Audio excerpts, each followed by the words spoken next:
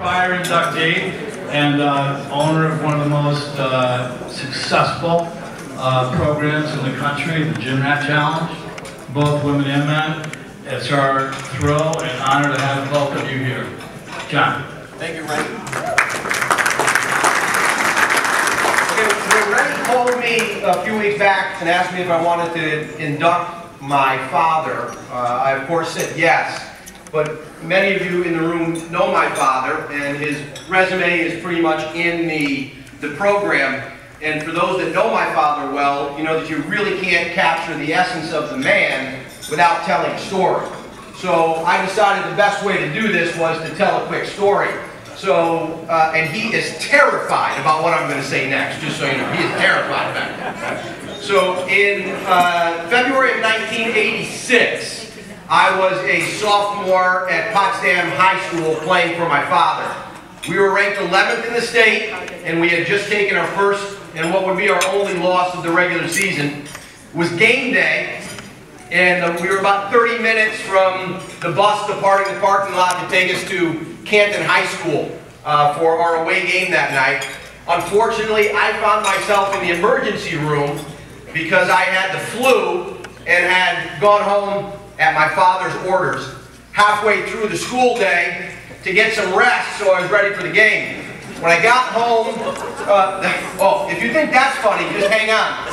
So, uh, when I got home, I grabbed two different kinds of cold medication, took them quickly, and went to sleep. Four hours later, I woke up without any idea who I was, where I was, or how I got there. I was a drooling, blubbering mess. So my mother immediately took me to the emergency room.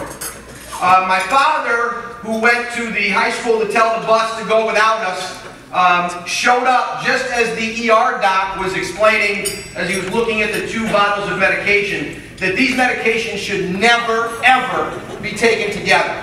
And he explained to my, my parents that I would, for the next 24 to 36 hours, be disoriented, I would be disconnected, I would be extremely groggy, and I was very likely to experience hallucinations. Um, my mother immediately asked if there were any permanent side effects to this. The doctor reassured her, no, no, Mrs. Kmack, at 24 to 36 hours, it'll get out of the system, he'll be fine. My father then asked the most important question that was on his mind, which was, can he play tonight? The doctor turned to my father at that point and said, play what? My father responded with a little bit of a, a quick monologue about 11th in the state, Canton, blah, blah, blah. And the doctor stopped, took two steps closer to my father, and as if he was speaking to someone whose first language was not English, he said slower and louder, disoriented, disconnected, groggy, and hallucinations.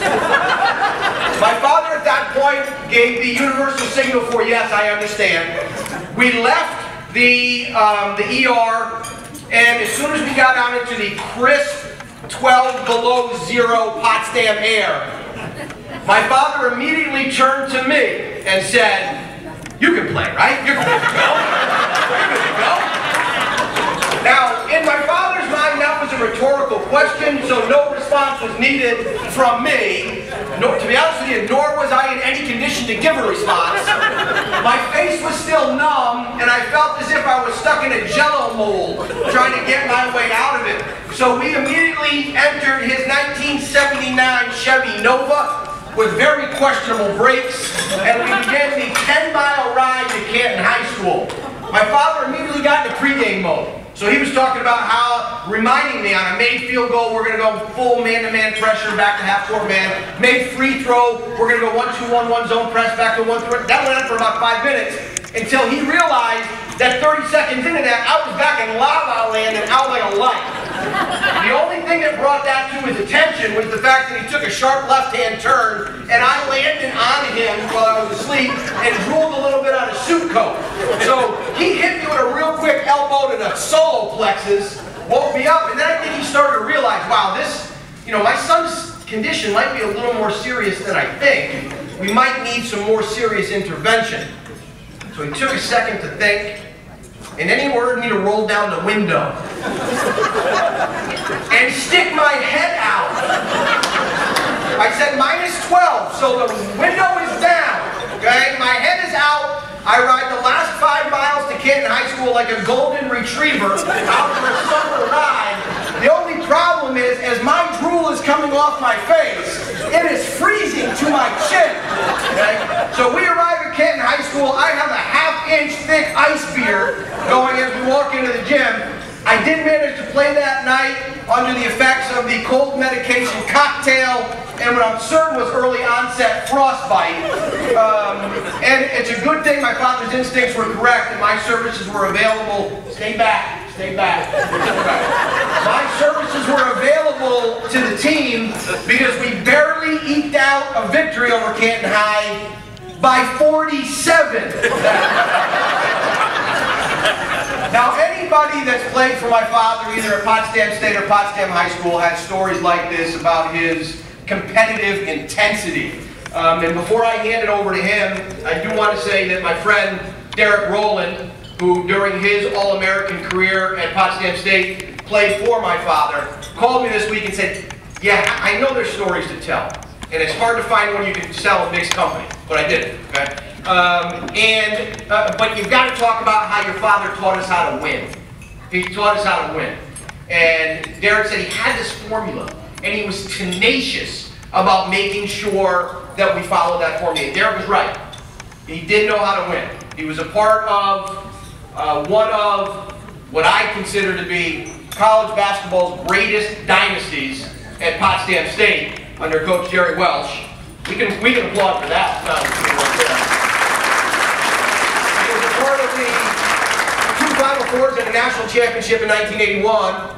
Then he took over a hapless program at Potsdam High School, who in its history had never won a sectional championship, had gone 40 years without a league championship, and had managed to lose 27 games in a row in the two seasons before he took over.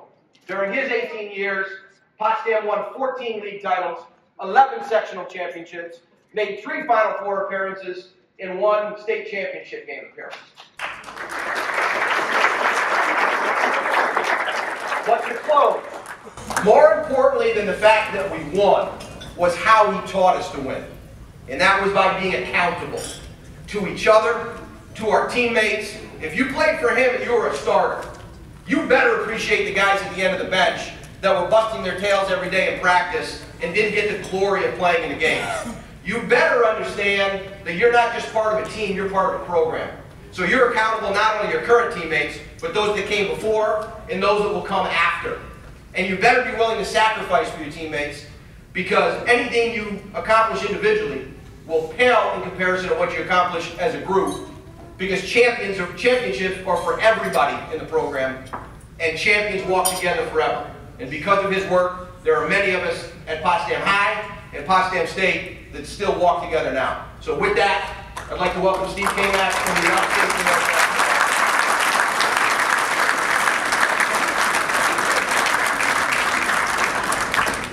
I'm Steve Kmack. I'm from Tupper Lake, New York. I lived most of my adult life in Potsdam, and uh, I was hoping I'd really go close to last Rennie so there wouldn't be a lot of people here, but uh, I'm here now and the best I can. Uh, first person I want to talk about is Jerry Welsh. I'm going to tell you how I met Jerry Welsh.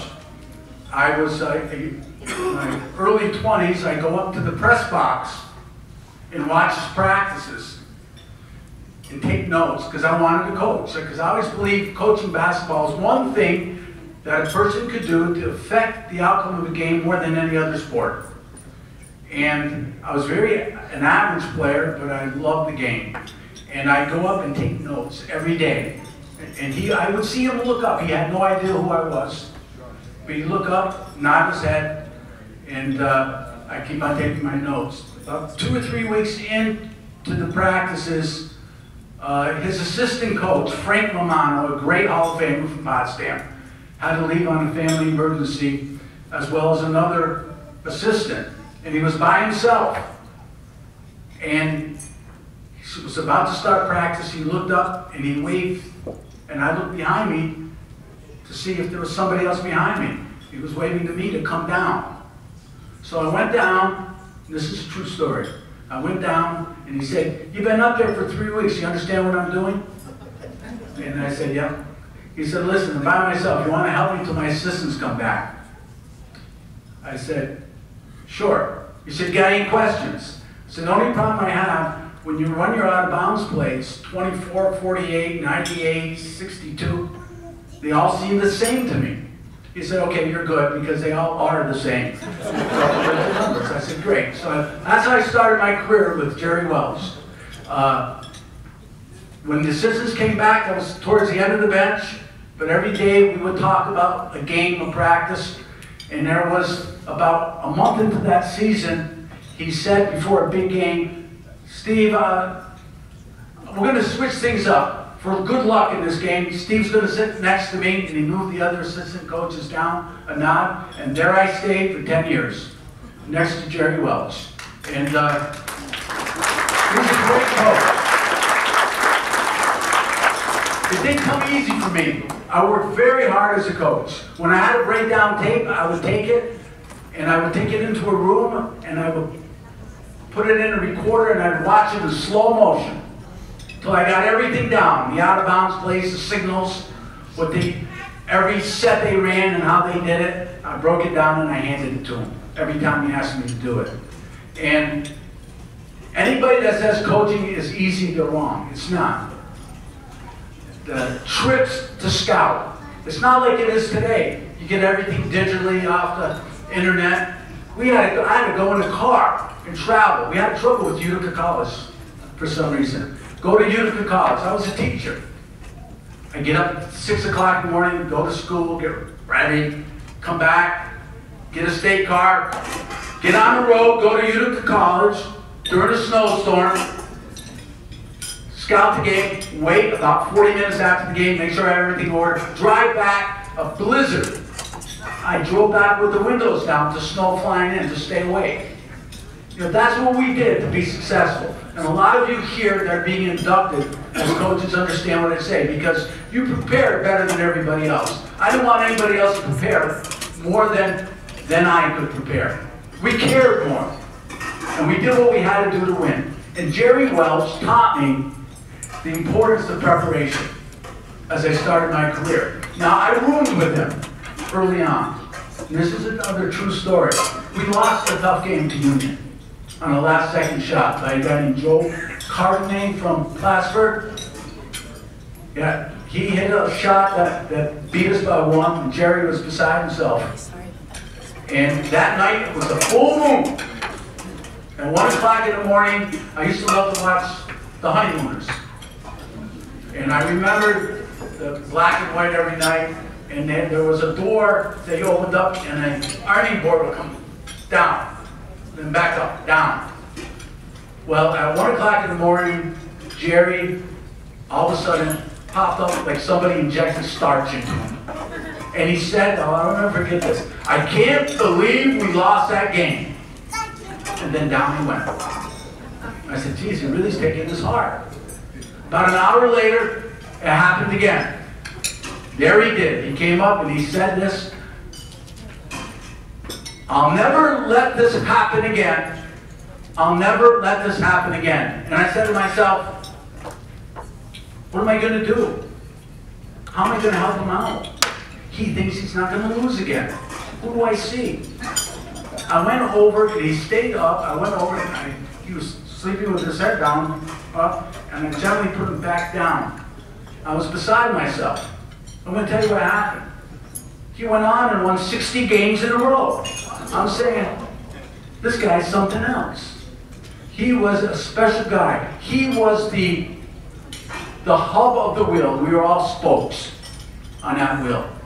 And he made Potsdam into a national power. And he taught me what was important to become successful as a coach.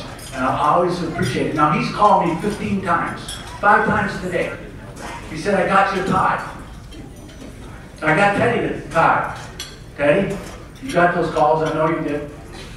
Maroon. Maroon is probably same color. Did Timmy, his son lives 12 minutes from me in Rhode Island. Did Timmy give you the tie yet? I said, no. I called him, I called him. Timmy went over. I got a tie from him. I think he just took it out of his closet. You know, it was purple and pink. You know, and uh, he just wanted to be here so much so, but he just couldn't make it. You know, his health is dwindling, and he, and he, and he wanted to be here, but just couldn't. But we all loved him. Now, I want to quickly just mention some of the people that have come. The table back there, uh, three members of the 81 National Championship team. Derek Rowland, Mo Wood, and Junior Waverly Patrick. They all played role in that championship. Derek Rowland, I met him when he was a six foot four, skinny freshman at Potsdam.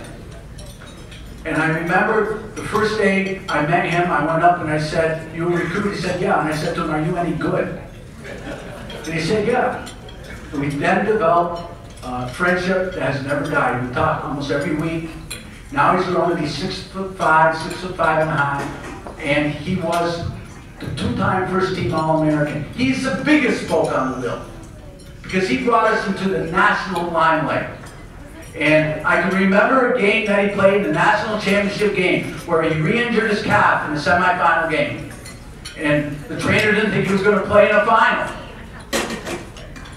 But he rose to the occasion, walked on the floor limping, much like Willis Reed did in that big game.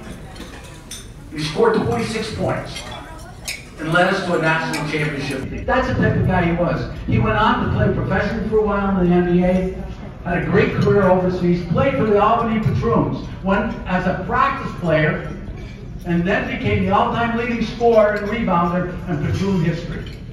And a great member of this community.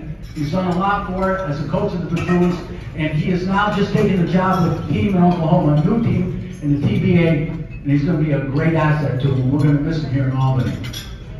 I want to thank my son for the great introduction. You know, he played for me. It's not easy playing for your father, but it was easy to have him as a as a player because he did everything you wanted him to do, and he did it the right way. And he was the first on the court and last to leave. He had a great career at Plattsburgh, and I love the introduction. Thanks, Johnny. Franny, thanks for having me. I appreciate it. Enjoy your food. I'm done. Thank you very much.